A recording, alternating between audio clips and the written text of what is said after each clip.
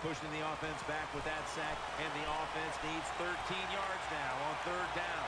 The defense comes out on the dime. And the second quarter is underway with this snap. Oh, shit.